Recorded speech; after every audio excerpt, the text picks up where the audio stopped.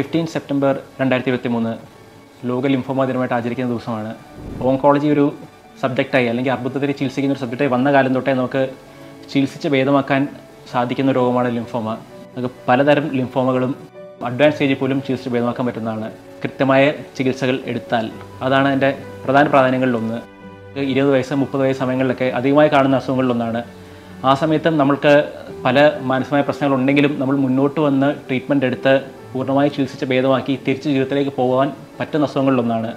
Lymphoma പണ്ടത്തെക്കാട്ടിലും അതിന്റെ ചികിത്സാ രീതികളിലും ഒത്തിരി ഒത്തിരി വ്യത്യാസങ്ങൾ വന്നിരിക്കുന്നു.